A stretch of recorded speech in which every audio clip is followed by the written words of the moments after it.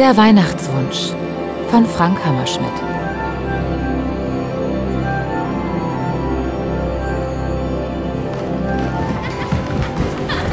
Das alte Kinderhaus hatte schon bessere Zeiten gesehen.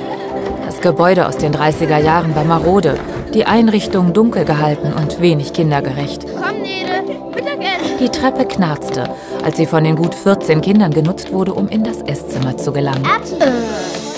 Schon wieder Erbsensuppe, Julia.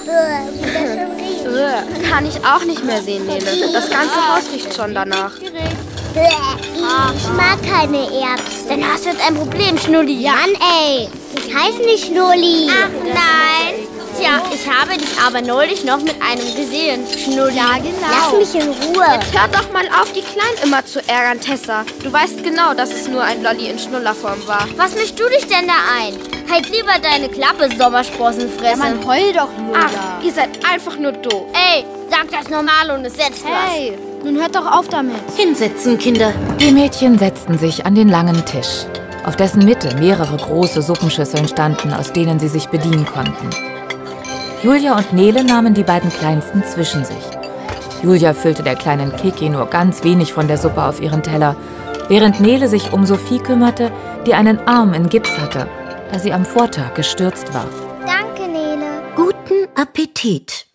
Guten Appetit. I, an dem Fleisch ist Fett dran, Julia. Ja, das mag ich auch nicht. Igitt. Dann legt es an den Tellerrand. Wollt ihr heute noch auf dem Weihnachtsmarkt, Nele? Was? Oh ja, Weihnachtsmarkt, da würde ich auch gerne. Hm, ich, ich weiß noch nicht, Marie. Eigentlich schon, aber wir müssen erst noch mal fragen. Oh, bringt ihr uns dann etwas mit? Ja, genau, etwas vom Weihnachtsmann. Nur falls der nicht zu uns findet. Und weil wir deine aller, allerbesten Freundinnen sind. Ja, ja, die allerbesten Nervensägen seid ihr. Ey, stimmt doch gar nicht. Schauen wir mal. Die Nöllenburgdorf lässt euch bestimmt nicht allein auf den Weihnachtsmarkt. Hä? Und wenn doch?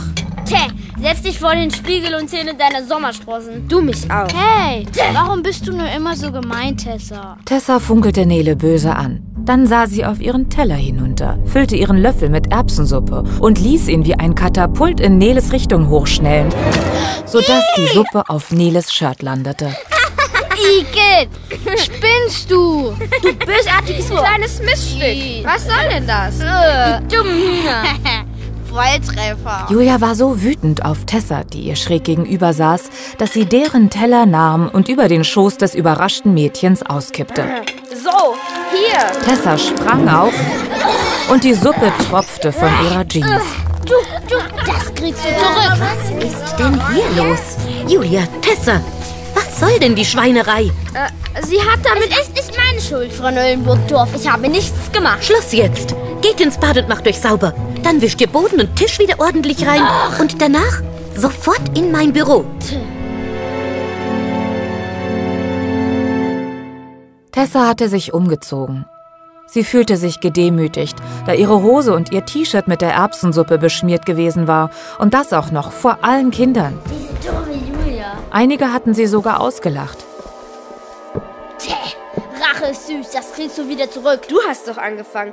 Was hat dir denn Nele getan, dass du sie mit Erbsensuppe bewerfen musstest? Ach, halt die Klappe. Selber. Geht das schon wieder los? Nein, natürlich nicht. Kommt rein. Hinsetzen. Dahin. Ich bin sehr enttäuscht von euch. Ihr seid hiermit die Ältesten und benehmt euch wie Kleinkinder. Soll das etwa ein Vorbild für die kleineren Kinder wie Kiki oder Sophie sein? Die sehen zu euch auf. Ich hätte inzwischen wirklich etwas mehr Verantwortungsbewusstsein und Disziplin von euch erwartet. Tut mir leid, Frau Nellenburgdorf. Ihr werdet euch jetzt sofort die Hand reichen und euch jeweils bei der anderen entschuldigen. Was? Ja, oder? Ihr bekommt eine Woche Putzdienst und eine Woche Hausarrest. Eure Wahl. Also gut. Sorry, Julia. Entschuldige, Tessa. Na also. Und dass mir das nicht noch einmal vorkommt. Abmarsch. Äh, Frau Nellenburgdorf, äh, ich möchte Sie fragen, ob ich heute vielleicht zusammen mit Nele auf dem Weihnachtsmarkt darf. Was? Nach dieser Sache gerade denke ich wohl eher nicht. Geht jetzt und denkt noch mal genau über eure Taten nach. Hehe, wusste ich's doch, geschieht euch recht.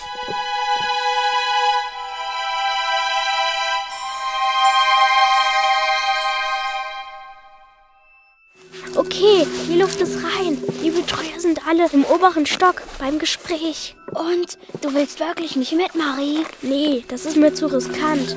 Aber viel Spaß wünsche ich euch. Und passt auf, dass euch keiner sieht. Ja, danke schön, Marie. Das machen wir. Zum Abendessen sind wir sicher wieder zurück. Falls jemand fragt, wir sind in unseren Zimmern und wollen nicht gestört werden, okay? Okay, nun geht schon. Ich schließe die Tür hinter euch. Also gut. Bis dann. Bis später. Aha, wen haben wir denn da? Hallo Mariechen. Wo wollen denn Julia und Nele hin? Hä? Wer?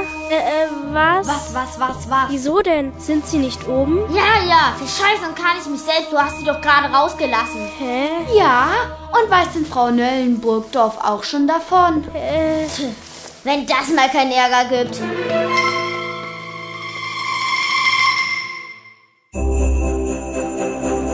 Nach einer halben Stunde Fußmarsch hörten Julia und Nele bereits weihnachtliche Musik. Und sie sahen die ersten leuchtenden Buden mit Lebkuchenherzen, kandierten Äpfeln und gebrannten Mandeln.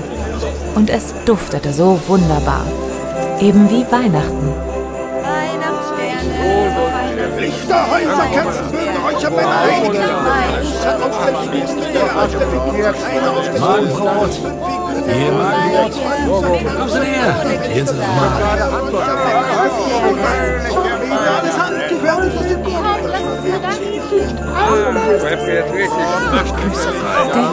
aus dem Meine Herrschaft, kommt her. Die handgeschnitzte Schätze aus dem Erz. schau dir mal den dicken Weihnachtsmann. Das wird mein Traum.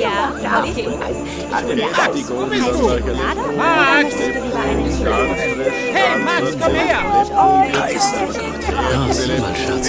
Schön viel zu Ey, das wäre was für zu Hause? Jetzt komm schon, Clara. Bitte, Papa, nur eine Zuckerwatte. Du hast doch schon gebrannte Mandeln, ein Lebkuchenherz und Waffel. Was willst du eigentlich noch? Nur Zuckerwatte. Auf gar keinen Fall. Und jetzt komm endlich. Wir wollen doch noch zur Schlittschuhbahn. Weiß Mama eigentlich, dass du mit Frau Berlebach drei Glühwein getrunken hast? Eine kleine Zuckerwatte, bitte. Sehr gerne. Machen Sie eine große draus. Ganz wie Sie wünschen. Ja, Backfisch, frischen Backfisch. Ja, komm Leute, hier, Backfisch. Der beste Backfisch auf dem Weihnachtsmarkt. Ja, hier, Backfisch beim Backen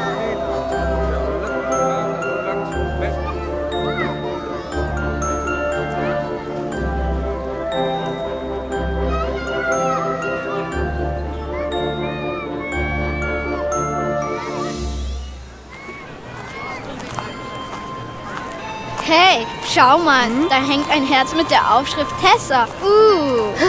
Das kann ja nur der Quinch draufgeschrieben haben. ja, auf keinen Fall der Weihnachtsmann.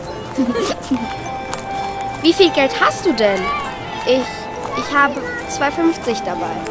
Ist nicht viel, aber vielleicht können wir dafür irgendetwas für Kiki und Sophie kaufen. Und wenn dann noch etwas übrig ist, auch für Marie. Das wäre schön. Moment, ich habe 1,90. Hm, das sind zusammen nicht einmal 5 Euro. Naja, schauen wir mal.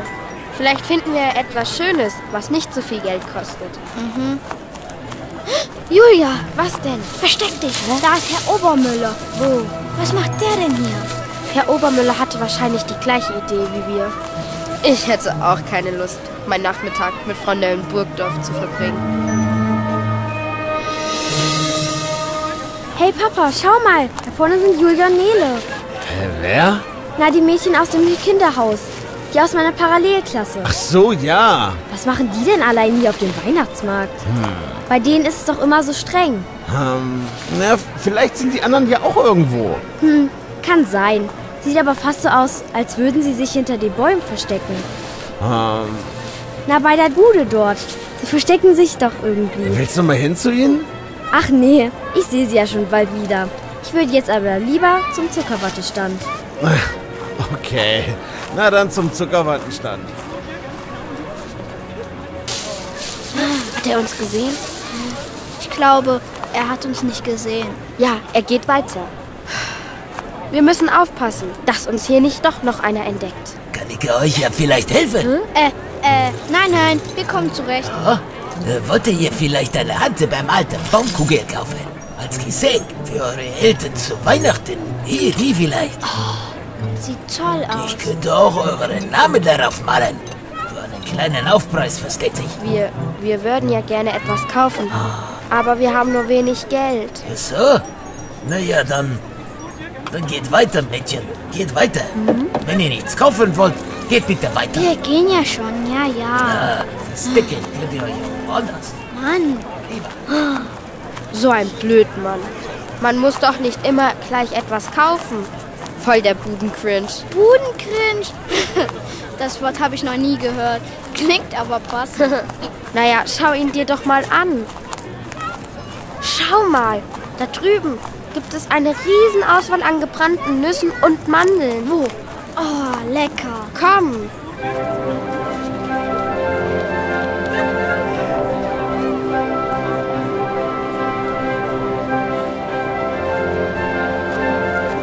Mmh, riecht das hier lecker. Schau mal.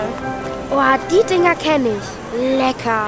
Hallo? Hä? Was darf's denn sein? Äh, arbeitest du etwa hier? Ich meine, Du bist wahrscheinlich erst so alt wie wir. Klar, ich vertrete meinen Vater.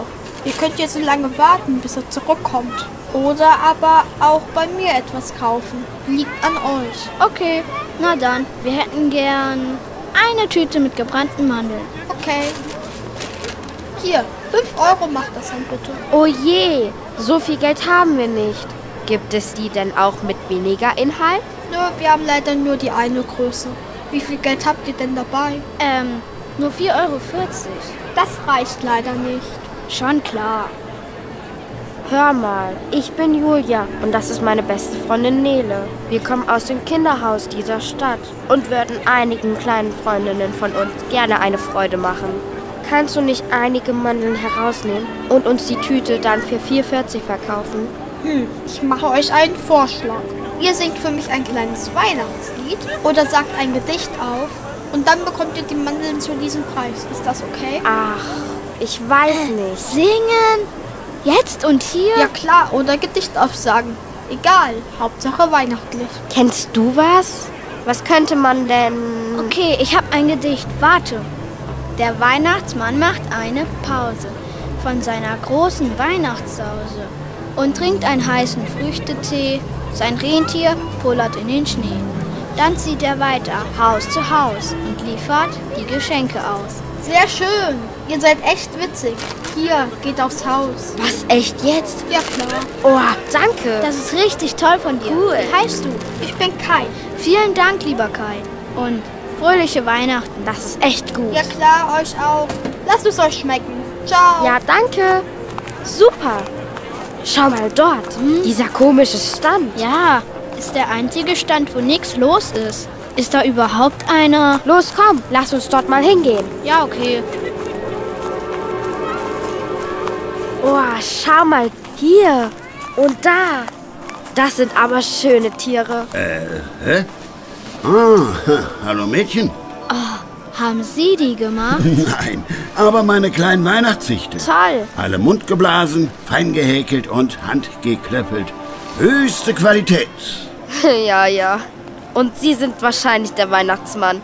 Nee, ist klar. Hm, die zwei süßen Rentiere hier.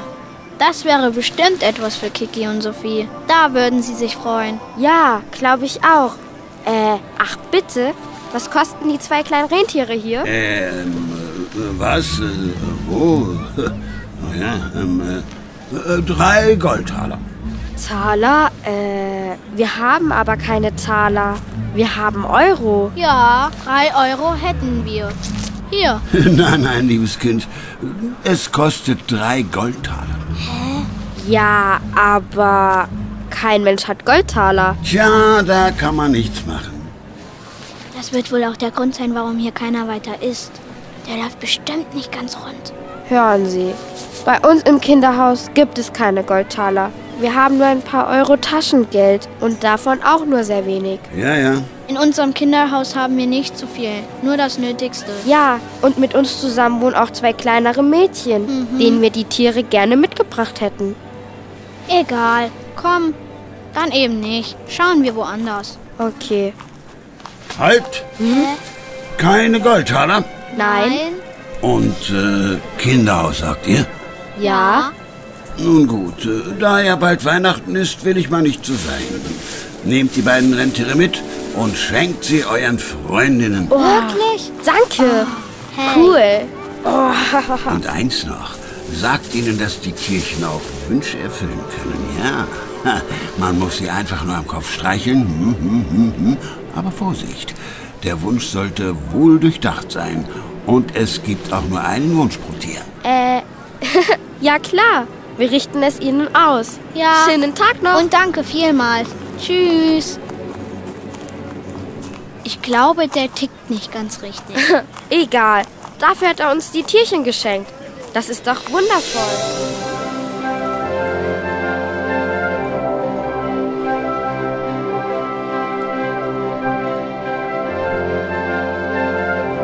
Die Mädchen verbrachten noch eine ganze Weile auf dem Weihnachtsmarkt, bis sie erschrocken feststellten, dass die Uhr kurz vor Abendessen anzeigte, welches sie nur noch schaffen würden, wenn sie sich nun richtig beeilten. Also verließen sie widerwillig den Weihnachtsmarkt mit den bunten Lichtern und den leckeren Düften und machten sich auf den Rückweg. Los, das schaffen wir noch. Wir hätten Handschuhe mitnehmen sollen. Meine Finger sind ganz kalt. Dann steck sie doch in die Jackentasche. Gute Idee. Ich werde. Ih! Was ist das denn? Igitt! Was denn? Ih! In meiner Tasche. Matschige Erbsenpampe. Uäh. Hm, Tessa. Wer sonst? Diese blöde Kuh. Und Rike war bestimmt auch mit dabei. Ja, ich verfluche sie. Am liebsten würde ich die verwünschen. Ja, in eine Kröte verwandeln oder so. Ja, aber damit tust du der Kröte nur Unrecht. Aber hey, warte mal. Wir haben doch die Rentiere. Nicht dein Ernst. Glaubst du etwa an den Blödsinn, den der alte Mann uns erzählt hat? Natürlich nicht. Aber lustig wäre es doch. Wie sagt er noch? Am Kopf streicheln und dann sich etwas wünschen? Äh, ja, ich glaube. Na los. Dann wünsche ich mir, dass Tessa und Rike. Hm, was wünsche ich mir denn? Dass sie eingefroren werden, ja, damit wir uns über sie nicht mehr so ärgern müssen. Und mit ihnen soll das ganze Kinderhaus, inklusive Frau Nellenburgdorf, zu einem tiefgefrorenen Winterwunderland werden. Genau. Oh je, lieber nicht. Wo sollen wir denn dann wohnen? Und Schnee und Winter? Kalt, kalt, kalt. Muss nicht sein. Ist doch nur Spaß. Aber stell dir das mal vor. Nee, nee, lieber nicht. Julia und Nele amüsierten sich noch über die Vorstellung, wie das aussehen würde, wenn nun wirklich alle eingefroren wären. Die Köchin beim Abschmecken der ekligen Erbsensuppe, Frau Nöllen-Burgdorf beim Zurechtrücken ihrer großen Brille und Tessa und Rike kurz bevor sie die Kleinen wieder ärgern wollten. Doch als sie am Kinderhaus ankamen, verstummte ihr Lachen wie im Nu und sie trauten ihren Augen kaum. Das Kinderhaus war als einziges Gebäude in der ganzen Straße meterhoch eingeschneit. Vom Dach hingen eine Vielzahl von Eiszapfen herunter, und im Garten, der nun schneeweiß war, stand Marie festgefroren mit einer Taschenlampe in ihrer Hand. Offenbar wollte sie den Mädchen ein Stück entgegengehen, doch nun war sie steif wie eine Eisskulptur. Ein anderes Mädchen, das zufälligerweise am Kinderhaus vorbeilief, stand nun staunend mit großen Augen davor.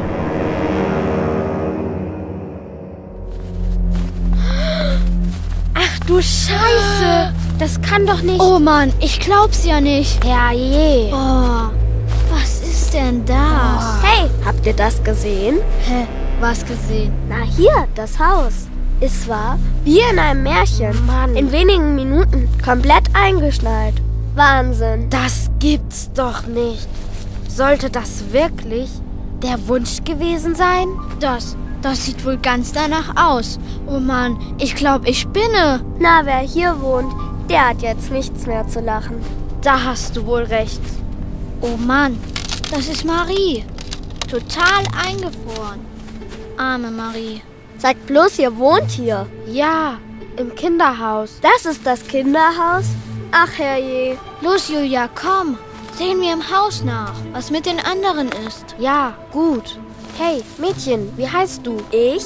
Tiama. Also, Tiama, erzähle lieber niemanden hiervon. Das bringt uns nur mächtig Ärger ein. Nun komm schon. Ja, ich komme. Das glaubt mir doch sowieso kein Mensch. Die Mädchen mühten sich zunächst mit der eingefrorenen Haustür ab.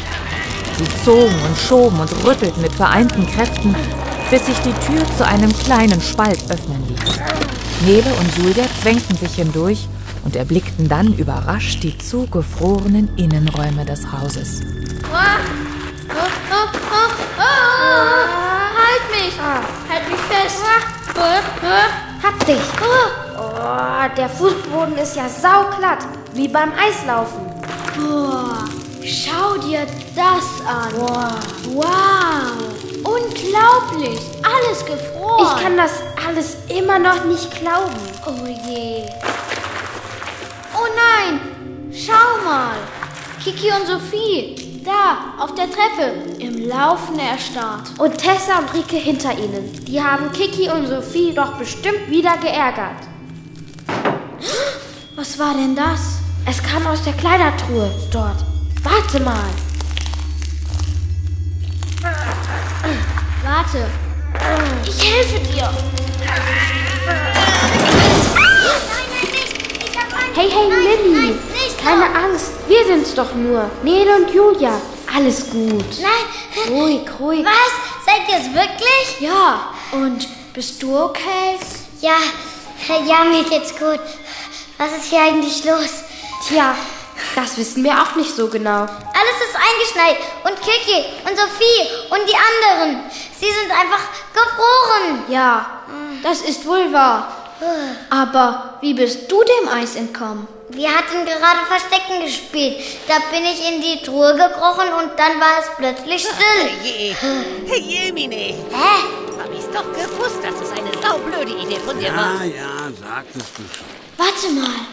Da draußen ist jemand. Ich höre es. Und jetzt haben wir das Malheur. Millie, du bleibst hier und rührst dich nicht vom Fleck. Wir schauen mal nach, wer das ist. Okay, ist gut. Komm, Nele. Ja, Na, da knutscht mich doch mal ein bunt karierter Elch. Sieh da, da kommen die Übeltäterinnen. Das, das ist der Verkäufer, von dem wir die kleinen Rentiere haben. Und tatsächlich. Auf einem großen Schlitten saß der Verkäufer. Ihnen war vorher gar nicht aufgefallen, wie lang sein weißer voller Bart war. Und nun hatte er auch noch ganz andere Sachen an. Er sah aus wie der Weihnachtsmann mit seiner roten Zipfelmütze, den schweren Stiefeln und seinem dicken, ebenfalls roten Mantel. Aber das Wunderlichste war, dass er sich mit seinem Rentier, das den Schlitten zog, zu unterhalten schien. Was steht ihr da und glotzt so blöd? Wenn ich es nicht besser wüsste, könnte man meinen, ihr seid ebenfalls zu Eis gefroren. Sei bitte nicht zu streng mit den Mädchen, mein lieber Rudolf. Mein lieber Rudolf, mein lieber Rudolf, wenn ich das schon höre. Es gibt überhaupt keinen Grund dafür, zu den beiden nett zu sein. ich glaub's ja nicht. D -d -d äh, siehst du das auch? D -d der spricht. Ja, ich sehe und höre es. Unheimlich. Wow. Unheimlich. unheimlich? Das, was ich hier sehe, ist unheimlich. Mann, da glüht mir doch gleich die Nase krumm. Entschuldigt ihn bitte. Er hatte noch kein Abendbrot und ist dann immer ein wenig ähm, garstig. Ja, so sieht's aus. Und dank euch trulligen Eisprinzessinnen verzögert sich das Essen noch mehr. Äh. Mann, Das tut uns auch sehr leid. Das, das alles wollten wir nicht. Ja, bestimmt nicht. Das sollte doch nur ein Scherz sein. Wir konnten doch nicht wissen, dass... ja, ja, ja. Sei schlau und stell dich dumm. Nein, ehrlich, es war überhaupt keine böse Absicht. Ja, das stimmt. Und wenn Sie wirklich der Weihnachtsmann sind, könnten Sie vielleicht das alles hier wieder rückgängig machen? Oh ja, bitte. Äh, was? Na, das, das Chaos hier. Ja, das Eis und der viele Schnee. Und unsere Freundinnen wieder auftauen. Ah, euer Winterwunderland. Ja, Wie kommt ihr denn darauf, dass ich sowas könnte? Ja, genau. Ihr habt euch das selbst eingebrockt und ihr müsst das auch wieder in Ordnung bringen. Ja, aber wie denn? Moment mal. Wir hatten doch zwei Wunschtiere. Hier, Äh, ja, und? Ich hatte aber erst einen Wunsch gesprochen. Also wäre noch einer übrig. Pro Tier ein Wunsch. Richtig. Meinst du, damit können wir das einfach rückgängig machen? Ich hoffe es. Was schaut ihr mich so an? Probiert es aus. Oder aber ihr wünscht euch für mich einen großen Korb schmackhafter Karotten herbei. Rudolf. Naja, das wäre doch mal was anderes. Ich probiere es. Ja gut. Ich wünsche mir, dass Julias Wunsch wieder rückgängig gemacht wird. Streicheln nicht vergessen. Ach ja.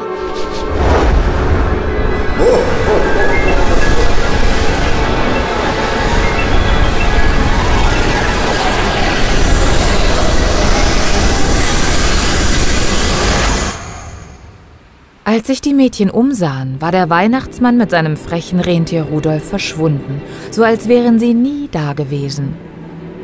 Dafür kam ein Mädchen angerannt. Es war Marie. Marie, du kannst dich ja wieder bewegen. Hä? Na sicher doch. Ja, die anderen bestimmt auch. Los komm, lass uns nachschauen.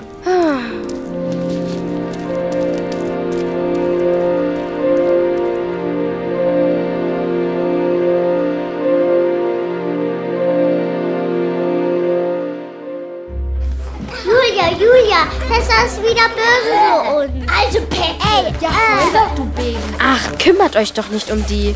Schaut mal hier, was wir euch mitgebracht haben. oh, wow, die sind aber schön. Eine wie? Fast. Es sind Rentiere. Persönlich vom Weihnachtsmann. Echt toll. Ja, ja. Und ob. Die sind mundgeblasen, fein gehäkelt und ähm, handgeklöppelt. Höchste Qualität eben. Und gebrannte Manteln haben wir auch. Hier, Marie. Greift zu. Ist für alle da. Hm, die sind echt gut. Du kriegst auch. Kommt schon, nehmt euch. Hm, na los hier, greift auch rein. Wirklich? Hä, meinst du etwa uns? Tessa und Rike waren ganz überrascht, griffen dann aber dankend in die Tüte mit den Mandeln. Auch Kiki und Sophie. Dann gingen alle gemeinsam ins Esszimmer. Na, jetzt sind ja alle da. Setzt euch bitte. Da morgen Heiligabend ist, haben die Kollegen und ich beschlossen, dass wir alle gemeinsam auf den Weihnachtsmarkt gehen werden. ja, ja, schon gut. Und vielleicht führen uns ja sogar Julia und Nele über den Markt und verraten uns, wo die schönsten Buden und Stände zu finden sind. Ähm, äh, ja, äh, gerne. Schön. Dann freuen wir uns jetzt auf den morgigen Tag, auf den heiligen Abend.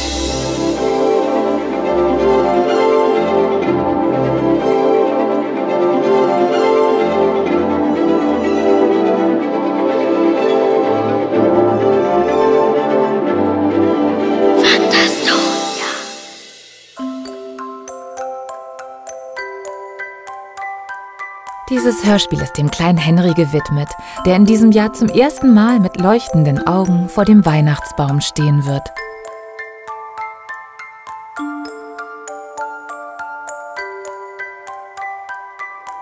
Hallo, ich bin Leonie, zwölf Jahre alt und ich spreche im Hörspiel die Rolle Julia.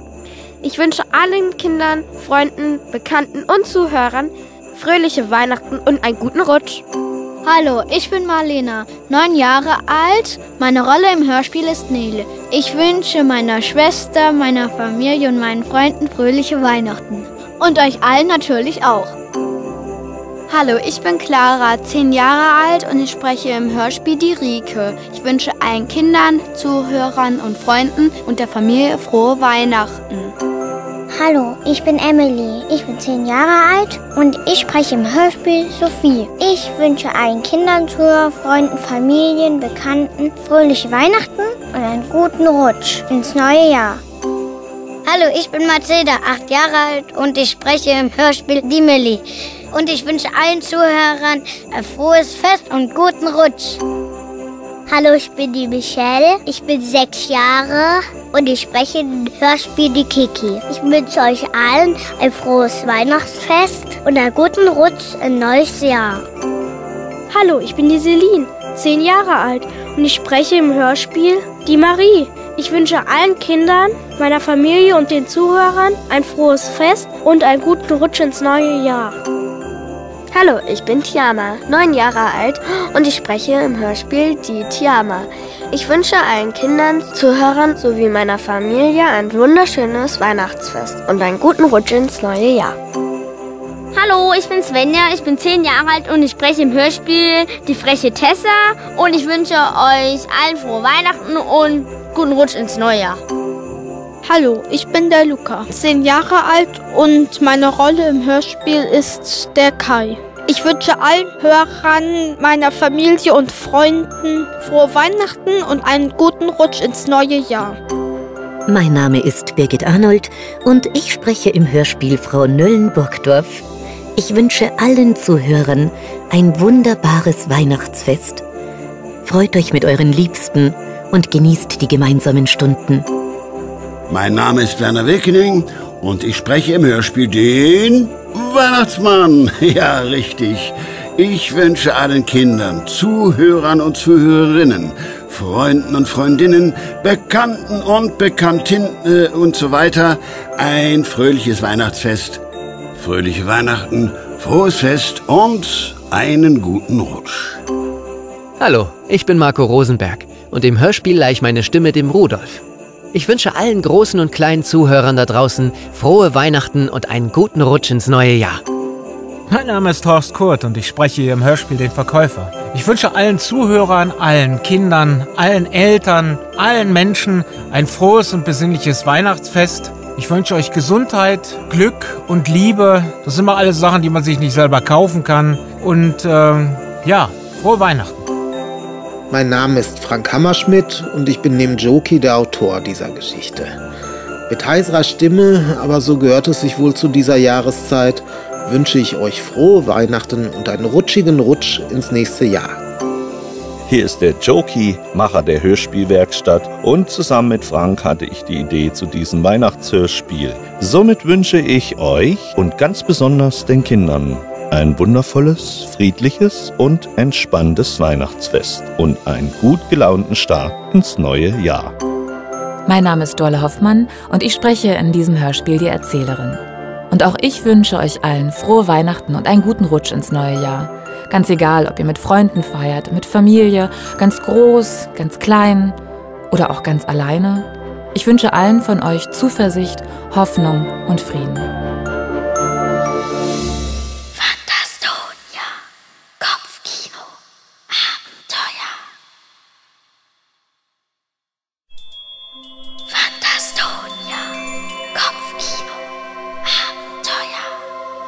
Das rosarote Päckchen. Ah! Ah!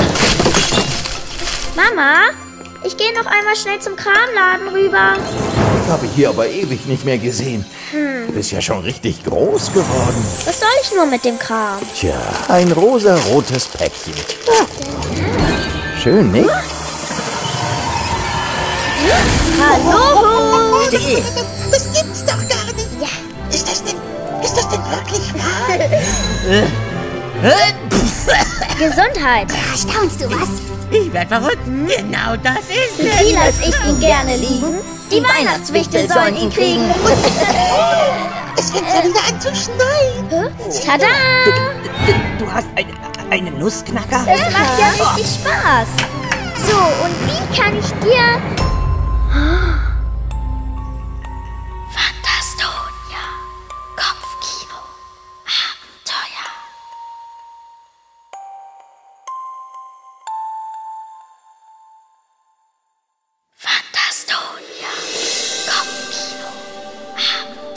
Kennt ihr sie auch? Diese kleinen Wichtel, die am heiligen Abend dem Weihnachtsmann dabei helfen, die Geschenke zu verteilen?